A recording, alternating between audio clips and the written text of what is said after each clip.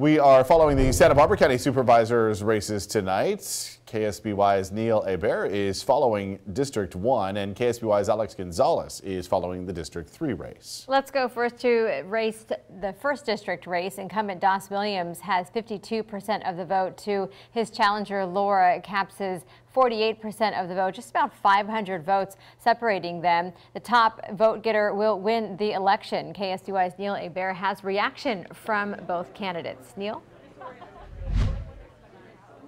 And I'm here at Casablanca in Santa Barbara. And like you said, Karina, uh, Das Williams does own a very slight uh, margin right now in this race for Santa Barbara County Su or, uh, Supervisor District 1 for that seat. Um, here's what both candidates have to say uh, about the support they've received throughout their campaigns.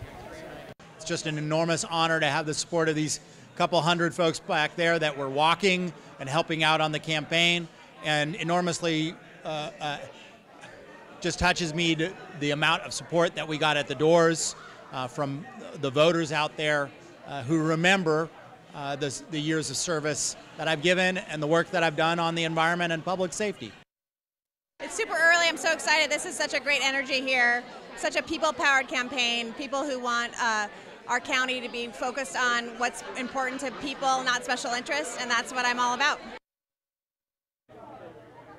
And these numbers are very preliminary right now, but Das Williams does hold a slight edge over Laura Capps for this uh, Santa Barbara County District 1 supervisor seat. He is the incumbent, and he owns a slight edge over Laura Capps. We'll have those numbers updated for you as soon as we can get them. Live in Santa Barbara, Neil Hebert, KSBY News. All right, Neil, thank you.